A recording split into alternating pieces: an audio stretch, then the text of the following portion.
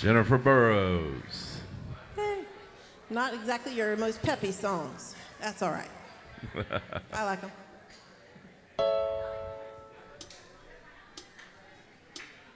If I should stay